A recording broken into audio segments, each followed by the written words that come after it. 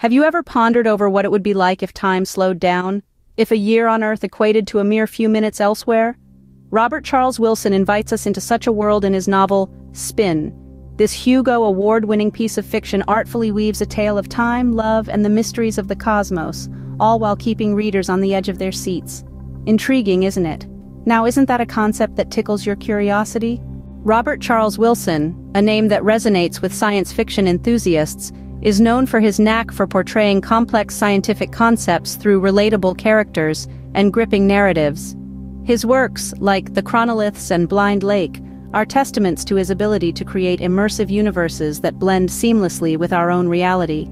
Each novel is a journey that transports you to a world where science fiction is woven with philosophical and sociological themes.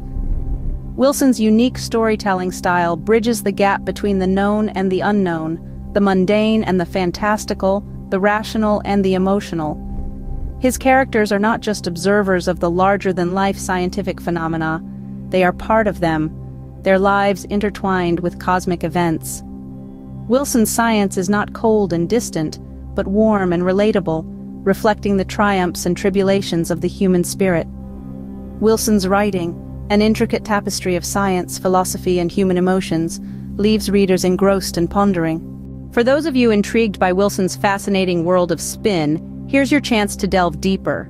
The Beam Me Up Book Club is extending an invitation to all for a virtual discussion on March 1st, 2024 at 7 in the evening, Eastern Time. This is an incredible opportunity to engage with fellow enthusiasts from the comfort of your own space.